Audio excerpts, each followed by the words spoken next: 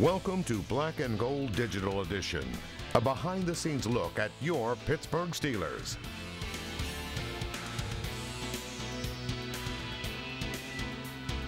Hi, and welcome to week 11 of our digital show. I'm Jay Pushka alongside Mike Fenner and Kent Urbanski. And gentlemen, it wasn't a pretty game. It was a messy conditions at Heinz Field, but the Steelers and the Lions, well, they tied 16-16. So even though it wasn't a, a loss or a win, it was a tie. But boy, the attitude after the game felt like a loss.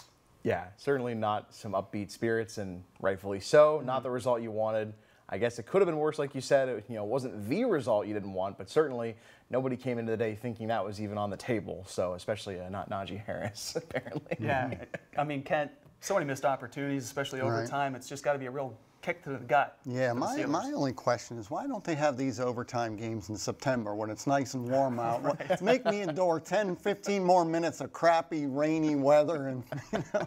So, but yeah, I mean, nobody wants a tie. Neither one of the teams want a tie, you know. So I, think I think at the end of the day, they want to they want to see a winner and a loser. It doesn't help anybody, you know. And certainly down the road, it could probably hurt the mm-hmm. Steelers i if it comes down to a playoff bid. And I can remember the day um, when it came down to that, standing on the field after the game, watching the Ravens and and the Browns play to see who was going to win that game in order to whether Steelers were going to be in or, in or out, and they were out. Let's hope that doesn't happen again. And Mike, as you were alluding to, Najee Harris just not sure about the overtime rules, but now he knows that you can get a tie after 10 minutes of play.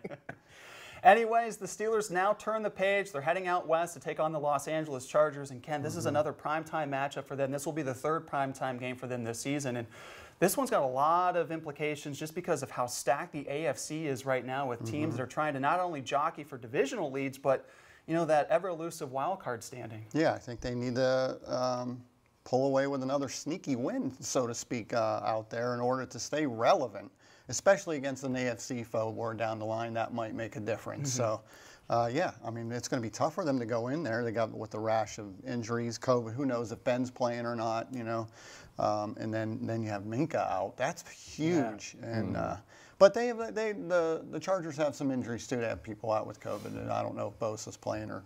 Um, We'll see. I mean, I, I think the Steelers are going to really have to rely on Najee Harris to, to carry the ball a little more than what he did in, in the last game. I'm concerned about it because the Bears, run, or not the Bears, but the Lions defense, run defense wasn't all that good. And the Steelers had trouble there. I mean, what are they going to do on the road? So, but I'm uh, that's that's the got to be the game plan. You got to feed Najee more than 22 times. Yeah. And and if it is Mason, you can't have your backup quarterback thrown 50 times in a game. Yeah. You know, that's just way too many.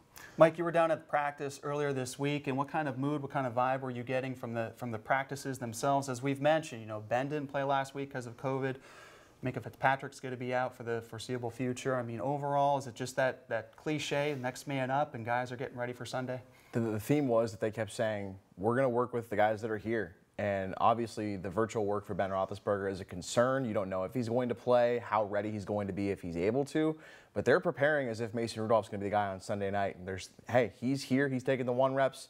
He's the guy we're going to work with. And it goes for everybody that's out there or not out there. It's they're, they're getting ready pre- to prepare for what they have, not what they wish they had out there. So. Uh, they're just trying to wipe this one clean, even though, like we said, it's, it's a tie, not a loss. But still, these guys know how important this stretch is upcoming. And, you know, Cam Heyward was talking about that too. There's plenty of football left to be played, especially division football, mm-hmm. AFC football. It's a mm-hmm. tough schedule, of course, but the opportunities sit there in front of them with how bunched up the AFC is. With going into this week's Thursday night game, every single team outside of the bottom four and the top team in the AFC, you've got 11 teams bunched up between five and six wins. So really, I mean, it's almost like a whole new season starting right now for the Steelers and for everybody in the AFC. And I think they got kind of lucky with some of the other teams in their division tripping up a little bit. No you doubt. know, had they like put some separation there, I, I think Steelers would be in trouble. Cleveland and Baltimore, those Yeah. are huge losses Right, this week. yeah. Especially, no one expected Baltimore to lose to Miami, but I guess you know And no one's even talking about Cincinnati anymore. And they they went back to being the Bengals. they were the flavor So, of the month yeah. just three weeks ago, and now it's like, so- ah, they're right in the middle of the pack too. Yeah, everyone's just kind of laying in the weeds right now and trying to make that move. And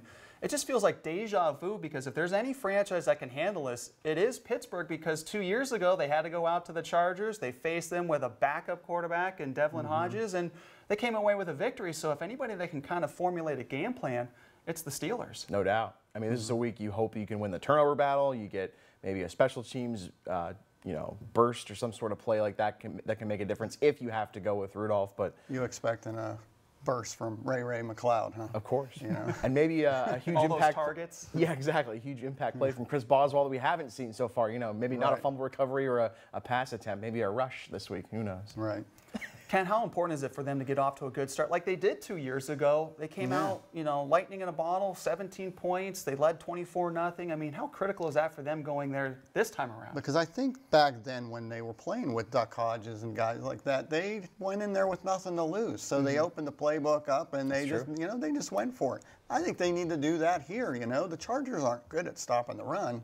You know, so even if Bosa's in there, they're they're they're not doing that well.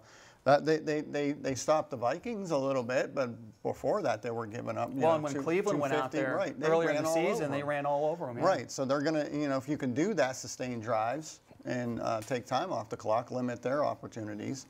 I like their chances, and especially, you know, I think in similarity with with uh, with their with their Herbert. I I don't think they let him throw the the ball downfield too much, even with Mike Williams and guys.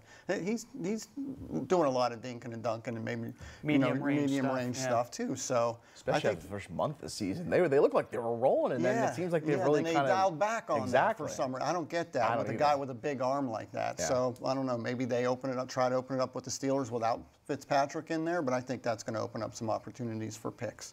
Mike, looking into the crystal ball, what do Pittsburgh need to do to get this one? Uh, I think just it's got to be getting pressure on Justin Herbert, being creative in terms of trying to get after him, confuse him. Still is a younger type quarterback. We're not talking about a rookie, but still a guy that's relatively new to the league. Try to create some pressure, disguise some things defensively up front, some games. And uh, Austin Ekeler is dangerous out of the backfield. You got to be ready for him to catch passes and try to make sure you're defending horizontally across the field because he's a guy that can really dice up defenses, just taking advantage of all 53 and a half yards across the field. So I think those are huge factors. Tim, what about you? It's called tackle football. Yeah. Right. Wrap the- somebody. Right. Make Yeah. the tackle. I'm, I'm tired of seeing these guys just throw themselves at at, at, at, at, at runners and, and just expect them to go down. These these are big, solid, strong Mm-hmm. guys. You got to wrap them up. You know, it's old school. You got to, you know, you got to get them around the legs and take them down, or they're gone. You know, we've seen that in the last couple of games. We'll see how it all shapes up mm. on Sunday night. Should be a good one, at least mm. on paper, as both teams trying to battle for better seeding mm-hmm. and positioning in the AFC playoff standings. So, for Mike Fenner and Ken Urbanski, I'm Jay Pushkar. Mm. Thanks for tuning in. We'll talk to you next week. Thanks for watching.